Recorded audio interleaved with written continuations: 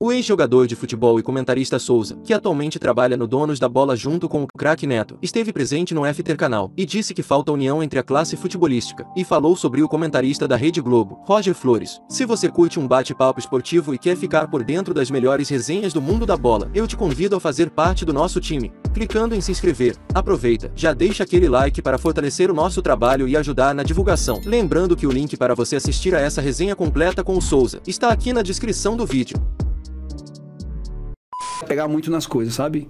Então, eu, eu achei que ia sofrer bastante depois que eu parasse de jogar, mas a coisa foi fluindo depois e aí apareceu é, essa, oportunidade. essa oportunidade Pra mim, a parte mais difícil ainda é criticar, porque eu tive daquele outro lado ali, é difícil. Perguntar, porque tem muitos jogadores que eles têm esse né, probleminha, porque de repente tem. Eu sei que vocês, é, na comunidade dos jogadores, né, dos esportistas, tem uma certa é, lealdade, né? De não falar um mal do outro, de preservar os direitos, algumas informações que vocês também dominam. É, ele teve em campo, né? Ele sabe. Claro, é. não, e de repente você sabe uma coisa do outro jogador, e você tem uma lealdade, você tem uma ética, né? Ética é. profissional.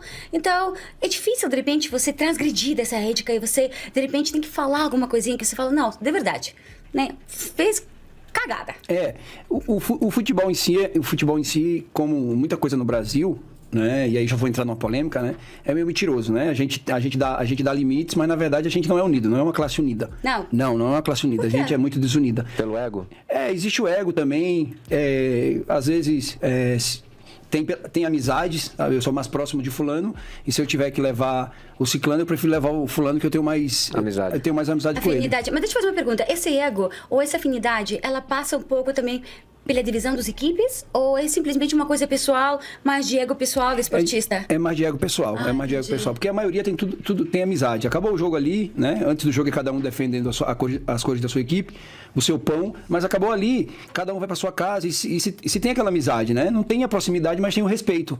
Sim. Mas fora disso, o futebol ele é meio, é um meio, meio, meio mentiroso, né? As pessoas elas passam uma imagem bacana para você, eu, eu, no final das eu, contas... Eu lembro de uma imagem, até voltando ao negócio do comentarista, do você criticou uma vez o Roger Flores quando ele foi comentar futebol.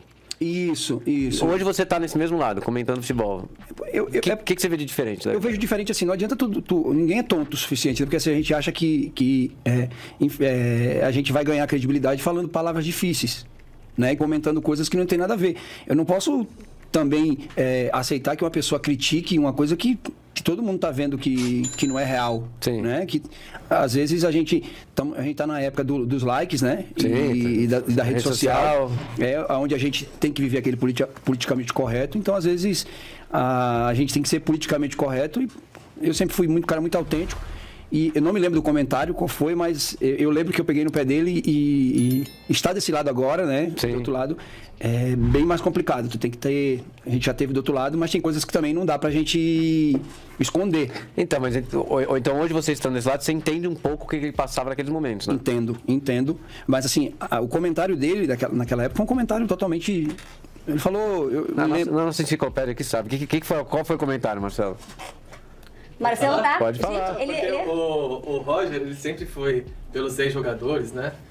Ele sempre teve uma visão de que ele às vezes passava do ponto no, nos comentários em relação a, a, caras que até ontem eram ex-colegas dele. E ele sempre, e é a minha opinião também, eu acho que às vezes ele pegava muito pesado, é, sendo que ele, ele até pouco tempo atrás ele estava do lado ah, então. então você acha que ele estava, de repente, sendo desleal com alguns colegas que há pouco tempo ele estava junto? Sim, eu acho que às vezes ele pegava muito no pé, sendo que ele, ele sabe qual é o outro lado. Mas qual foi o comentário do Souza? O que, que seria? Não, o Não, Souza... era Roger. Era é do Roger. do Roger mesmo. Roger. Não, porque o Souza uma vez ele, ele criticou isso. E na minha, Não, isso eu lembro que ele criticou. Não, foi uma crítica com razão, né? Porque é. o, o Roger, ele ficou até assim, o Souza não tem papo na língua, ele fala. No, no meio da boleirada, o Roger ficou mal, visto durante um tempo, quando ele foi para esse lado de comentarista, porque ele perdeu a mão. É, porque tem coisa que tu não pode também extrapolar. Sim. Né? Do outro lado ali tem um ser humano, né? Que é, quem não conhece assim a fundo o futebol, né, acha que futebol é chegar final de semana lá e jogar, mas existe uma família por trás.